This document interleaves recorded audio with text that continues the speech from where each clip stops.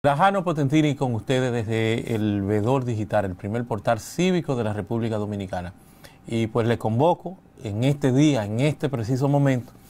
donde pues apenas hacen algunas dos horas, que la Junta Central Electoral, como órgano rector del proceso comicial, del proceso eleccionario,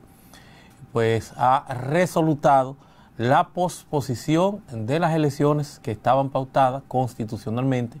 para el tercer domingo de mayo, 17 de mayo,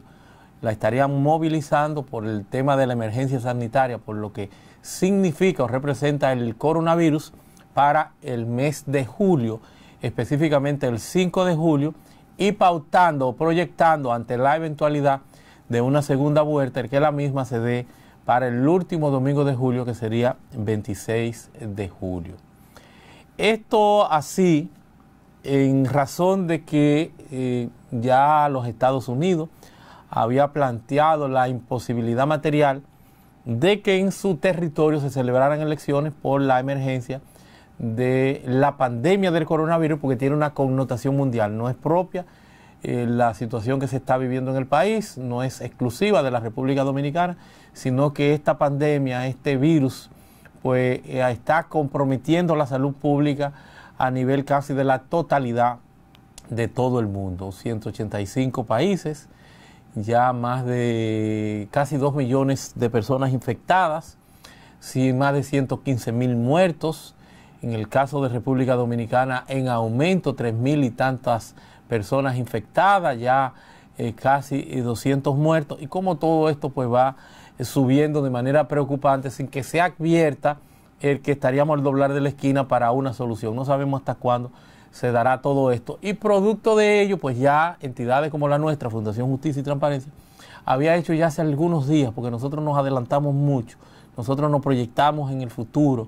eh, nosotros tratamos de ver la cosa a tiempo para que tengan un remedio más eficaz. Y habíamos planteado de que se dieran en, junio, pero ciertamente de forma objetiva, eh, la Junta ya al seguir pasando los días, y al verificarse que esto va para largo porque no se advierte la posibilidad de una vacuna como se estaría prometiendo, porque una vacuna lleva una fase de experimentación, de descubrimiento, de verificación, que puede llevarse un mínimo de uno o un año y medio. Entonces, estamos hablando de que no vamos a tener una vacuna en lo inmediato, que era con lo que se estaba planteando de que podía desaparecer esto. Parecería que esto va para largo y eso impone, después de una consulta que había planteado la Junta Central Electoral, a los partidos políticos para que lo mismo pues dieran su parecer. Los partidos mayoritarios grandes decían que, porque han querido como eh, sacarle eh, los pies al, al, tema, los partidos grandes, el PLD, el PRM, y han estado dando vuelta, parecería que para no dar las anotaciones, de que son ellos eh, en términos estratégicos los que estarían desesperados por tener o no elecciones y no han querido, parecería que opinar mucho sobre el particular. Ahora los partidos minoritarios eh, llevaron una propuesta y donde planteaban de que para julio, hablaban del 14 de julio, la Junta ha tenido a ver en la resolución 42-2020, o sea, del 2020, la número 42 de este año, hacer la posposición para el día que les he referido y que ven ustedes en pantalla ahí, que ya la de mayo serán el 5 de julio. Esto en principio es un quiebre, por razones atendibles, pero es un quiebre de la Constitución, porque la Constitución eh, en, su, en su articulado hace mandatorio el que sea en el tercer domingo de mayo, pero por razones atendibles que hay que comprender algo que no esperaba nadie, una casuística que no podía considerarla ni contemplar ninguna elección, como lo vemos en las consideraciones eh, que hace la Junta para resolutar sobre el particular, en donde pone de manifiesto que precisamente en la experiencia comparada, una cantidad apreciable de países, China, China, eh, en China, en Rusia, en Túnez, en Bolivia, muchos, muchos países ya han tenido también que posponer, en muchos casos hasta sin fecha definida, sus procesos eleccionarios. Cada país buscará su mecánica, buscará su procedimiento, buscará su acuerdo interno y hay algunos que pudieran tener más claro que lo que tenemos en la República Dominicana la problemática ante una eventualidad como esa, porque han sido azotados eh, por catástrofes naturales en muchas oportunidades que le ha llevado a repensar qué es lo que no hemos hecho ni no hemos hecho aquí ni hemos tenido nunca. Por eso era impensable y mucho menos verificar o prever esto en una constitución. Y por eso tiene que haber una salida extraordinaria como la que se está dando, que siempre hemos dicho precisa del mayor de los consensos posibles. Por eso lamentamos que hasta última hora los partidos estuvieron dando vuelta, una junta con poca credibilidad, una junta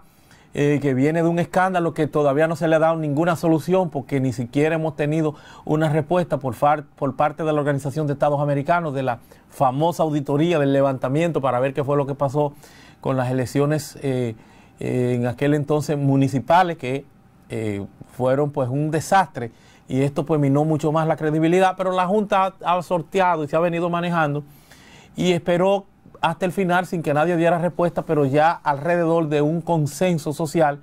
de que era un imperativo, de que era una necesidad, porque no hay forma de hacer unas elecciones en mayo con la situación de emergencia, de calamidad pública que supone el, eh, que supone el estado de emergencia que ha sido declarado por los efectos del coronavirus. Entonces ellos en esa resolución recogen todas estas consideraciones, todas estas leyes, todos estos decretos y hacen una motivación ahí para justificar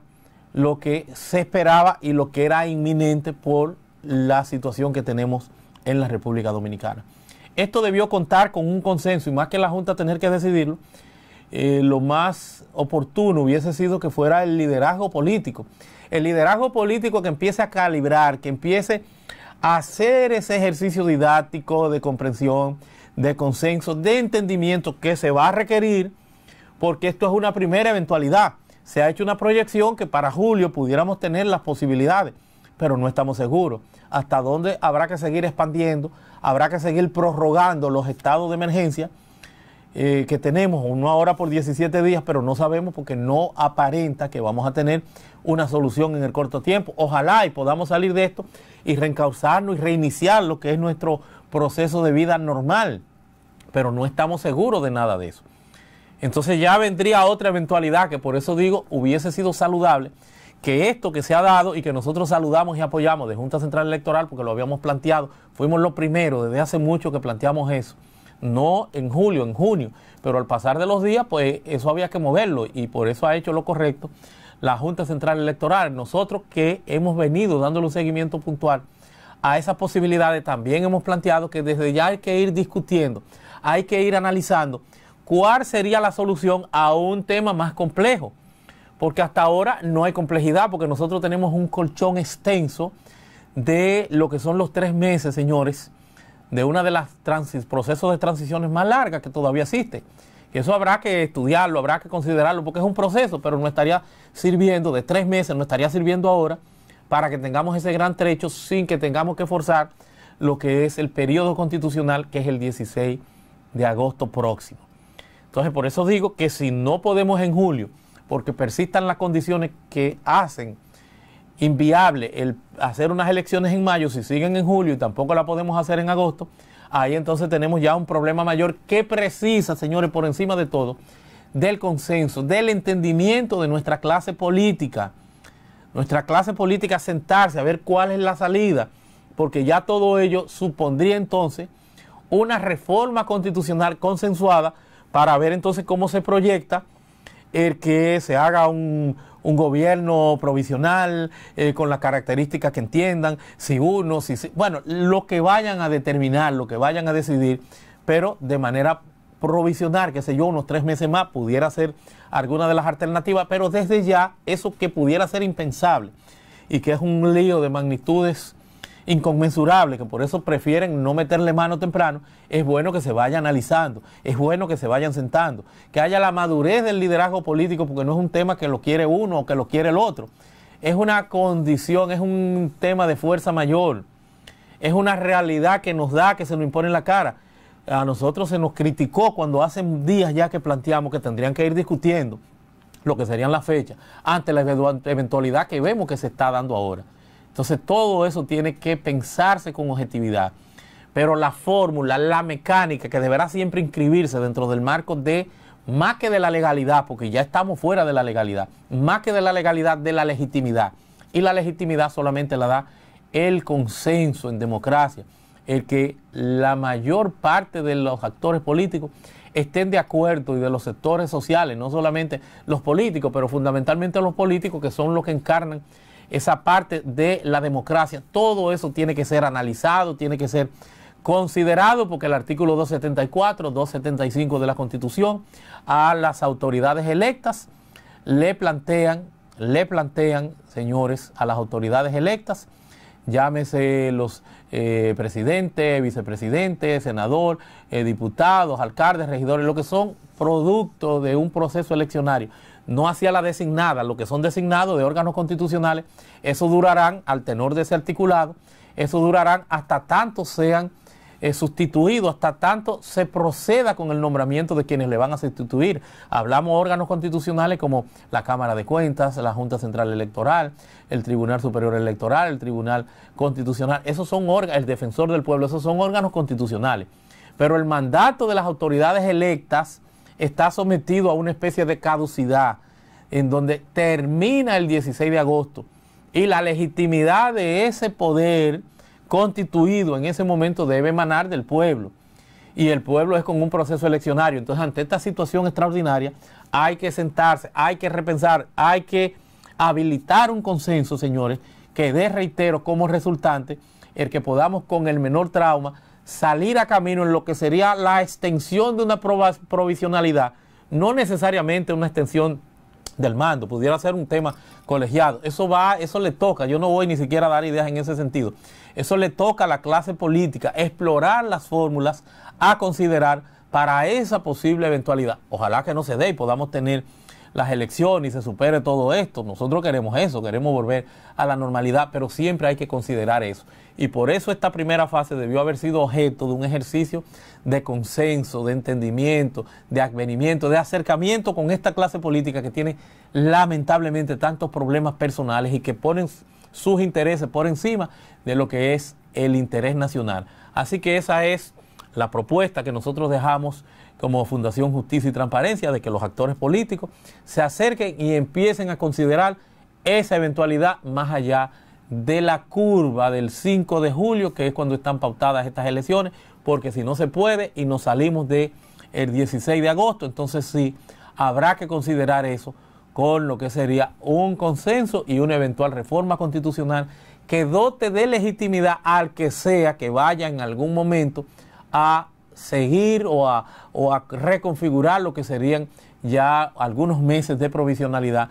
para dar seguimiento a todo este tema. Una legitimidad por demás necesaria para lo que es la gobernabilidad en un estado de emergencia, en un estado de sección, en una situación particular de mucha crisis que se requiere tener legitimidad para mantener el tema de la gobernabilidad. Eso es lo que yo quiero que nuestra clase política pues tome en consideración. Ha estado con ustedes Trajano Potentini dándole la gracia al primer portal cívico de la República Dominicana, el Vedor Digital, que nos sirve esta posibilidad de interactuar con ustedes y de llevarle buenas nuevas como esta, de que precisamente en este día la Junta Central Electoral acaba de resolutar, resolución 42-2020, de que está posponiendo las elecciones ordinarias de forma extraordinaria para el 5 de julio con la eventualidad de una segunda vuelta para el domingo 26 de julio. Eso es lo que tenemos y gracias a ustedes por el favor de su sintonía.